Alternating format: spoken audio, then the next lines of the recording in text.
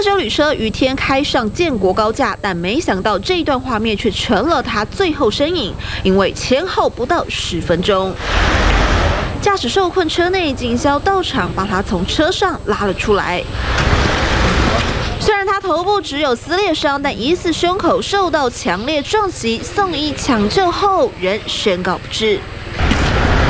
黑色修理车车头全毁，前挡风玻璃裂成蜘蛛网状，后挡风玻璃也有三处不明孔洞。警方怀疑不单纯，找监视人员比对，一度怀疑死者在生前在高架上有竞速被砸车，甚至遭人开枪，但警方查出真相。撞击的部分，哦，应该是碎片喷灰所致，当然进一步我们要去请监视中心。警方调查，死者生前与妻子参加庆生派对，但两人吵架后，死者气得离开，沿途还跟妻子讲电话争执，结果从南京东路开不到两公里自撞身亡。而不止在台北市、新北市新庄，下午也有名骑士雨天骑车，结果疑似因为视线不良撞上电线杆，当场人车喷飞。头部重创，送医后人回天乏术，一个晚上车祸连连。